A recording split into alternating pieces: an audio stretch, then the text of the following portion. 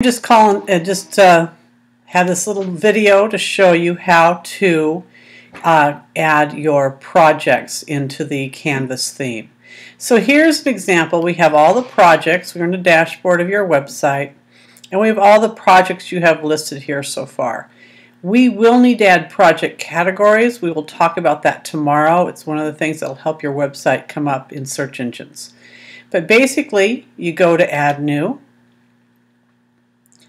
and under Projects, and then put in the project name, put in the content that describes your project, include a category.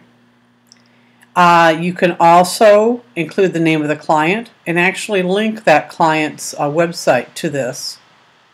And then you add a very short description, maybe one sentence or two, that describes the project project briefly. The final thing you do is you add your cover image.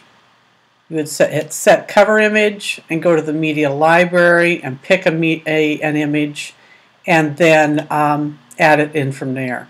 So that's about it. It's pretty easy. Once you're done, if you want to look at it, you can hit Save Draft and look at the uh. If not, you're set to go and you hit Publish. That's it.